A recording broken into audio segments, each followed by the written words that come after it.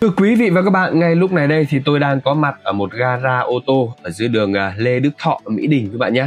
Có một vị khách gọi điện cho tôi là bảo mang chiếc xe Toyota Cross 2020 đem đến gara cho anh check. Nếu như xe chất lượng đúng như tôi tả thì anh lấy xe luôn.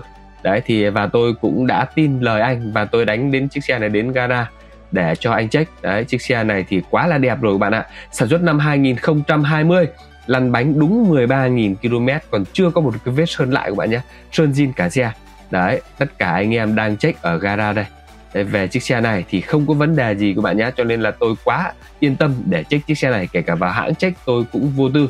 Đấy nhưng mà vừa đánh chiếc xe này đến gara thì được mấy anh em đây ông anh đang ở dưới đang chia sẻ đây ạ. Là bác chủ xe này có quen gara này và đã đem hai chiếc xe khác đến đây để check rồi nhưng mà check xong cũng không lấy đấy, thì chiếc xe tôi đem đến tôi check, thế là tôi biết ngay là chưa chắc gì anh đã lấy chiếc xe này. Và đúng như tôi suy suy đoán là chiếc xe này là check xong, không có vấn đề gì về chất lượng cả, nhưng mà anh vẫn là cho anh thêm thời gian để anh ờ, cân đối. Đấy, thì chiếc xe này tôi đánh về luôn. Khi vừa về đến cửa hàng cái thì có một anh khác đến là đã mua luôn chiếc xe này các bạn nhé. Đấy, cho nên là đem đi check nhiều khi không đến xem xe và không làm việc giá cả trước là rất là mất công. Đấy nhiều người à, mua bán hãy hiểu cho chúng tôi. Nếu như có nhu cầu thực sự thì hãy đến cửa hàng chúng tôi xem và làm thủ tục thỏa thuận. Nếu như mua bán chúng ta làm việc cái giá cả xong đặt cọc rồi mang chiếc xe của tôi đi check. Đấy.